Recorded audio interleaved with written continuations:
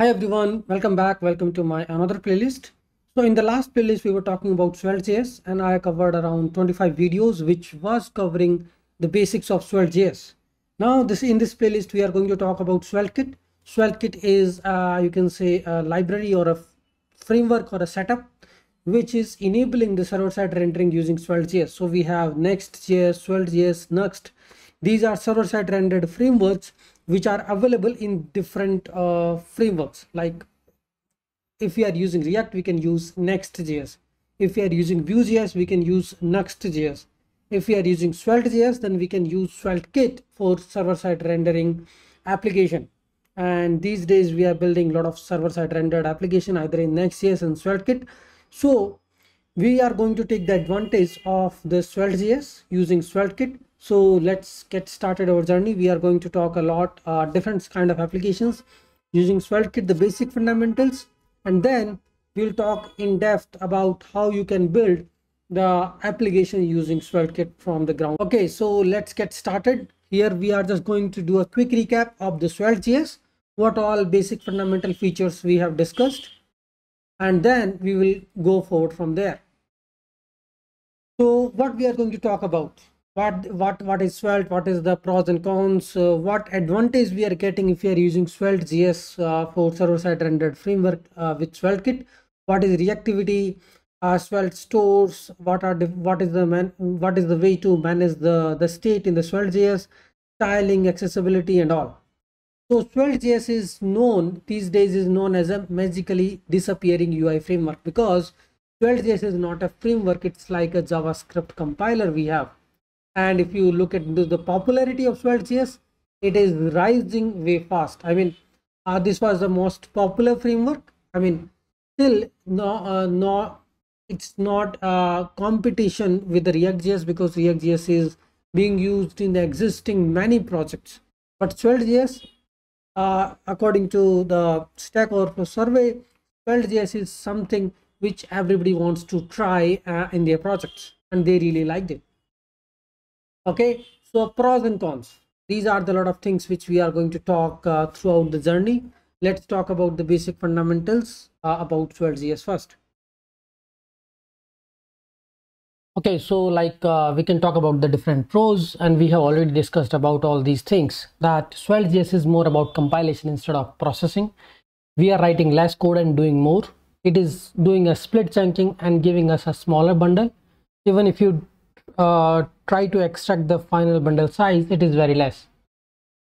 And what all you need to know is just html css and javascript. Most of the time we are going to write a pure vanilla javascript. Nothing no special syntax. It just we need to understand some syntax provided by svelte.js to write the components and all. It's now it is fully written in typescript uh, since v3 so we can take the advantage of typescript with the svelte.js it provides the better performance and all these things.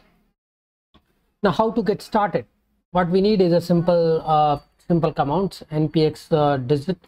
And here we can just create a simple project. We can just do npm install npm run dev and you will be able to see your first application running. Uh, if you wanted to use typescript then there is a special command setup typescript.js and it will just create a setup for the typescript project. Because for the typescript you need a ts config and TSC compiler with the Svelte.js.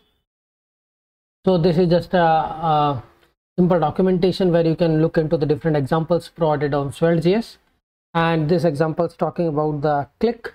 So when you click onto this, it's increasing the counter. And this is how we are writing the Svelte.js components.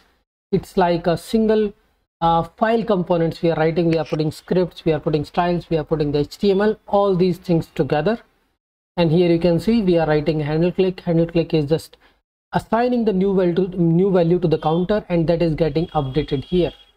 Now the same code when you write in the angular or the react you can see the the number of lines you are writing in either angular or the react.js and the logic we are doing in svelte.js here we are just reassigning the same value to the the count and whenever the new value is getting reassigned it change detection triggers it, it doesn't use any kind of virtual DOM. It just invalidates the value and applies the new changes. Okay? So these are just uh, different different examples. You can play with them. Simple to do app. How we are uh, playing with the references. So here you can see here i'm clicking on to the simple add button and it is adding that into an array. And how that is happening? I have initial array. And this is how i am iterating onto an array using each block each fruits as a fruit and i'm able to print all the fruits. And here on the on click it's like a single line expression. But what i'm doing here is when you click onto this i'm reassigning the fruits to the new value. And what the new value will contain the existing fruits array concatenated with the new value and assign this new array to the fruits. So it's all about reassignment okay? Because the changes on the UI screen will happen only when you are reassigning the value or invalidating the previous value. Okay? So these are different set of examples. We can just look into this. And then, then there are a lot of uh, fundamentals how we pass the data what is a state what is a props how we can render one component to another component right? So there are different ways and uh, svelte.js uses slots. So what it is saying is okay this is a model component and here i want to dynamically place my component content. Because if i'm writing a simple model pop-up component in the svelte.js but model pop-up can be a confirm box can be an input box can be something else right? The body can be anything. So i will just put slots. This is same as rendering the children into a react component using this dot props dot children. And here i'm doing a slot. So this component here i'm putting some model content so some model content will be replaced with this slot. Okay? Otherwise you can also put a fallback content inside a slot slot opening and slot closing. If you're not providing a slot content then that fallback will happen.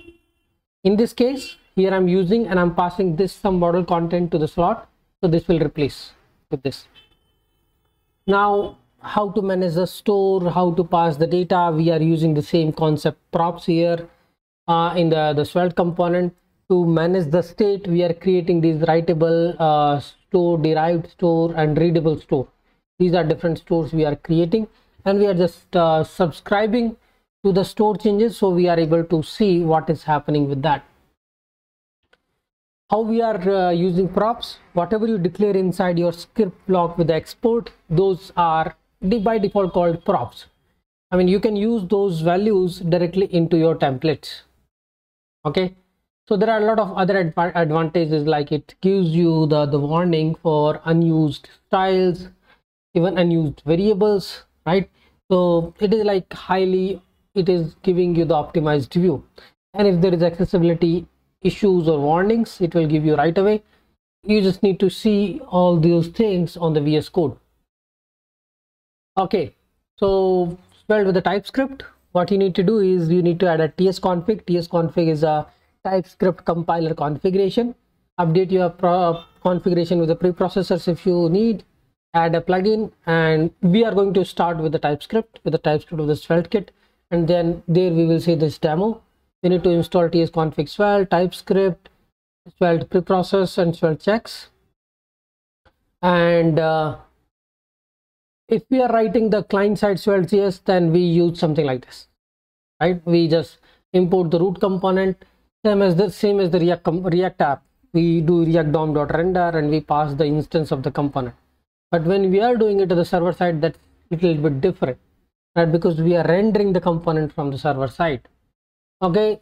It's all about like uh, what all other projects are running in the svelte. So we are we can talk about Sapper and SvelteKit.